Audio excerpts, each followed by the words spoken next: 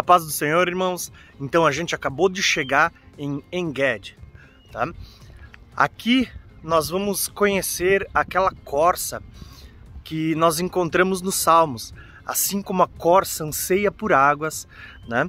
Então eu quero mostrar um pouquinho para vocês, só para matar curiosidade. Aqui em Enged a gente tem vários relatos bíblicos de coisas que aconteceram, né? Só para vocês terem uma ideia, aqui tem é, era pelo menos um manancial de águas, vocês veem onde passavam os rios e tudo mais, né? Mas eu quero mostrar para vocês um pouquinho de como é que é esse local, tá bom? Então, olha só, a gente tem bastante árvores, a gente percebe que embora seja um lugar meio desértico, até eu pretendo gravar uma uma série, ou pelo menos alguns vídeos falando sobre a igreja no deserto em breve. Então eu quero pelo menos começar a mostrar para vocês um pouquinho de do que fez Davi gerar, né, Davi escrever um salmo falando sobre como é, ele ansiava da, pela presença de Deus, né? assim como uma corça que anseia por águas. Porque esse lugar por si só era um lugar farto em manancial. É, ó, tá vendo? Lá no topo da montanha tem, tem, elas estão lá. Verdade, lá ontem. É, lá em cima. Mas, gente, eles são especialistas em caminhar por esses caminhos escabrosos mesmo. Assim, é, ela é. Você Uma deitou em cima de uma pedra. Você vê elas... Olha lá no morro, deitou agora, deitou agora lá em cima da pedra. Grandão lá. Chifrão, meu Deus. Lá em cima. Olha lá. E no meio tem outra. Uhum. Então, isso é parte do que é, do que é essa, essa reserva ambiental. A gente esqueci. Esses dois animais aqui, eles são de risco de extinção. E aqui, por exemplo, é onde a gente tem a maior, o maior rebanho dessas costas viva ainda no, na natureza e tal, tá aqui em Enguedo. Por isso eles são tão cuidadosos com o que pode entrar de comida, o que pode entrar de bebida, porque a, o propósito da existência desse lugar é preservar a vida dessas, dessas espécies e de várias é, árvores e plantas típicas aqui também, tá? Como que chama em hebraico o coelho? Schwanzela. Schwanzela. Schwanzela. É traduzido como coelho, mas não é coelho. É. Normalmente em português tá coelho. É o nome dele, mas é um, é um, é um roedor. Tipo, a tradução seria um roedor das pedras na terra de Israel. Tipo uma capivarinha, é. Vamos lá, vamos seguir um pouquinho mais? Que legal. No nome científico da, dessa espécie tá terra de Israel, tipo israelense. Ela é típica daqui. Ela é símbolo dos parques de Israel, né? É. Aquela, aquela símbolozinha que tem. Eu, E esse parece um gato meu nome, Eu volto e escalado. Então, olha só, a gente tá chegando aqui perto de uma das plantas que mostra como era uma- a, a coroa de espinho, né? A planta com a qual foi feita a coroa de espinho que usaram na crucificação em Jesus. Então dá uma olhada só como eram esses espinhos que foram usados na coroa. Tá vendo? Aqui nós temos uma planta nova. Ah, eu vou mostrar para vocês como é que é uma planta um pouco mais velha, como os espinhos ficam, mas eu queria mostrar só para vocês conhecerem melhor como era essa planta. Ó. A gente está caminhando aqui por Enged e a gente tem as corças, né? Eu estou tentando, querendo mostrar para vocês e olha só, dá uma olhada aqui, ó, atrás de mim, ó. Aqui tem, você vai ver que tem outras deitadas também, né? Lá atrás, ó, deixa eu ver, tá bem longe. Tá vendo? Lá atrás, ó, tem uma na sombra, aqui assim, ó, bem na ponta do meu dedo tem uma na sombra também. Deixa me ver, aqui atrás da pedra tem uma também. Você vai ver ali, ó, deixa eu ver se eu ergo mais para você ver. Tá? Então, essa é a corça citada uh, por Davi, tá? É uma espécie que tem somente aqui, né, em Enged. Então, é, é típica aqui de, de Israel, né? E detalhe, eu quero mostrar outra coisa para vocês, tá? Aqui, atrás de mim, nós temos uma planta. Eu não sei se vou conseguir mostrar para vocês os espinhos dela, mas essa é a planta que com a qual foi feita ah, a coroa de espinho de Jesus. Então, deixa eu tentar mostrar para vocês um pouquinho de como são os espinhos aqui, ó. Olha só. Deixa eu tentar aproximar a câmera aqui para vocês verem. Essa, esses são os espinhos da coroa feita que, ah, com o qual fizeram a coroa de Jesus. Olha só. Conseguem perceber?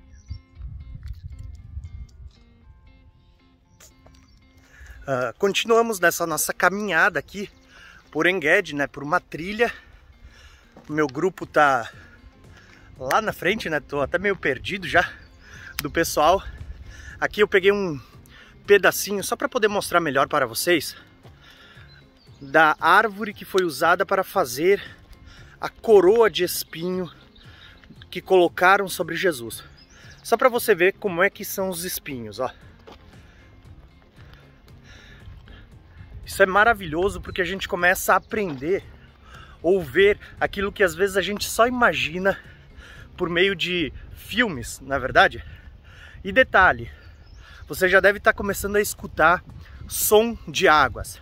Isso mesmo, porque aqui em Guede há águas. Por isso o texto de Davi, assim como a corça anseia por águas, né? Então eu quero começar Tô chegando perto, vou mostrar para vocês um pouquinho das águas aqui de Enged. Acabamos de chegar em uma das fontes aqui em Enged, né? Então nós temos aqui atrás uma das fontes, uh, como a gente já vem conversando, que uh, inspirou Davi a criar aquele salmo tão maravilhoso, né? Enged, na verdade, a, a palavra em, ela fala do nas, de, de nascente, de riacho. Uh, Ged vai falar de cabrito então é como se fosse riacho do cabrito ou nascente do cabrito, né? Por isso que a gente vai ver que aqui tem esses cabritos, essas corças. Uh, nós vamos ver que Enged aqui era um local aonde também, é, pela abundância de águas, né, também tinham vinhas. Salomão em Cantares ele vai dizer assim, ó, o, o meu amado é para mim como um ramalhete de flores ena e das vinhas de Enged, né? Então você vê que esse local era muito importante. Uh, aqui acima vocês vão ver, né, se eu não, deixa eu ver se eu consigo mostrar com a câmera, são lugares que tem vários uh, pequenas cavernas, né? Provavelmente aqui em uma delas é o local, foi neste lugar ainda, a gente não sabe qual é a caverna em si, mas foi neste lugar que Davi ele se escondeu com os seus valentes em uma caverna e quando o rei Saul entra para fazer as suas necessidades, uh, Davi corta a sua capa, uh, a ponta da capa. Depois ele se arrepende por haver uh, colocado a sua mão em um ungido do Senhor.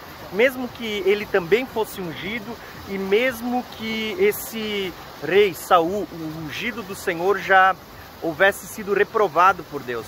A gente vê um coração temente que Davi tinha. Né? Mesmo seus soldados dizendo, veja, Deus colocou ele na sua mão.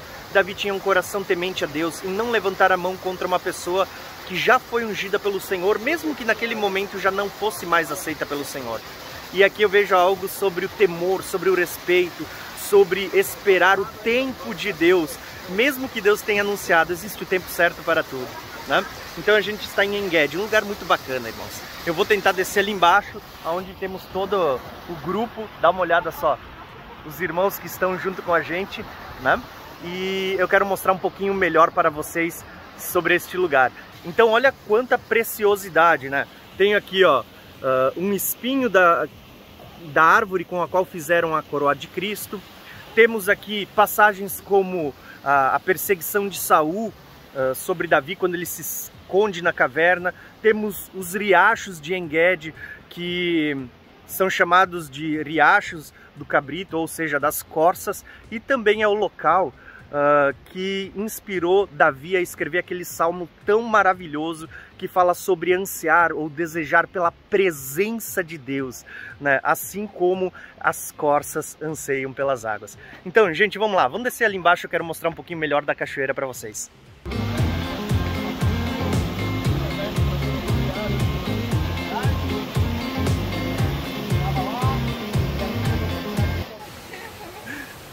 Então, gente, olha só, Estamos chegando aqui na, na fonte de Enged, né? Olha que água limpa, maravilhosa.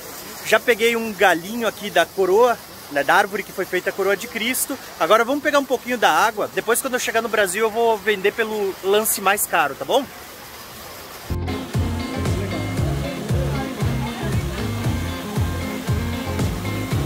Tá com sede ainda? Tá com água?